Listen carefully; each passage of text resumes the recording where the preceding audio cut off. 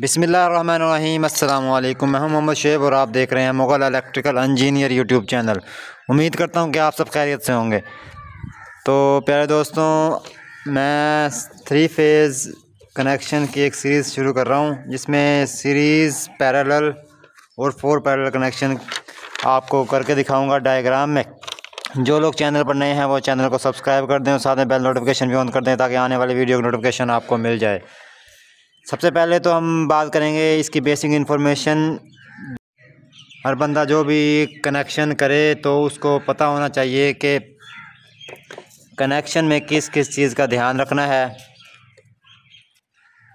चौदह सौ पचास आर पी एम बारह सेट डलते हैं चैन वाइंडिंग पाकिस्तान में जो है पचास आर पी एम है बाज़ जगह पे सतारह सौ भी होते हैं, तेरह सौ भी होते हैं। तो अपनी अपनी फ्रिक्वेंसी का फ़र्क होता है। तो सबसे पहले तो बात करते हैं कि कनेक्शन जो तीन तरह के हैं, जो कि मैंने आपको बताया सीरीज़ पैडल और फोर पैडल वो कौन से कनेक्शन होते हैं? सीरीज़ कनेक्शन जो होते हैं, जिसे पाकिस्तान में सिंगल कनेक्शन कहा जाता है, जबकि जो पैरल कनेक्शन है, उसे पाकिस्तान में डबल कनेक्शन कहा जाता है। और जो फोर पैडल कनेक्शन है, उसे ज़्यादातर फोर पैडल ही कहा जाता है, लेकिन बाज़ अवत बाज़ जगह पर उसे फुल कनेक्शन भी कहा जाता है।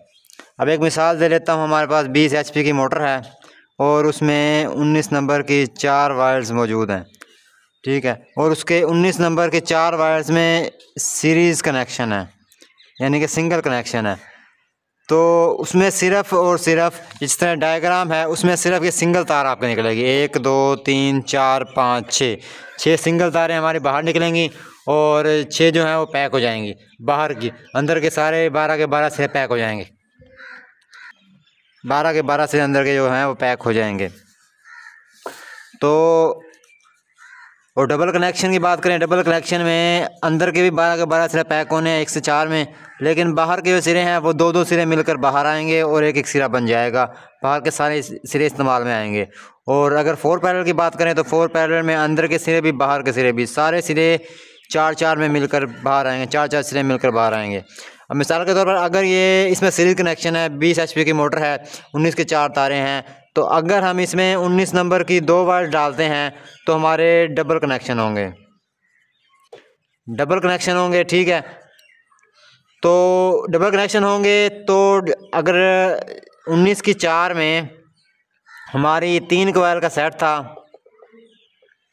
तीन कोयल के सेट में बीस टन बीस टन थी, हर कोयल में। तो अगर हम डबल कनेक्शन करेंगे, उन्नीस नंबर के दो तार डालेंगे तो हमारी टर्न्स हो जाएँगी चालीस टर्न्स उन्नीस नंबर की दो तारों में। तो अगर डबल कनेक्शन करेंगे तो वो बीस टर्न नहीं बच जाएँगे। अगर फोर पैरल कनेक्शन होंगे तो उन्नीस नंबर की एक तार होगी।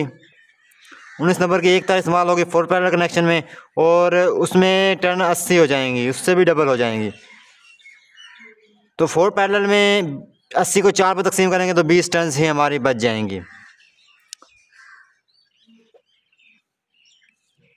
तो ये होती है बेसिक इन्फॉर्मेशन ठीक है?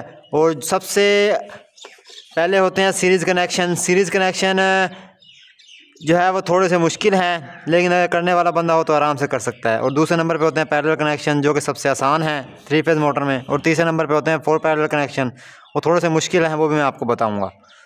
तो अगली वीडियो में आपको बताऊँगा कि इसके सीरीज़ कनेक्शन आपने किस तरह करते हैं करने हैं। बाकी इंशाल्लाह अगली वीडियो में आपको सीरीज़ कनेक्शन भी सिखाएँगे। अगली वीडियो का इंतज़ार के अल्लाह हाफिज़।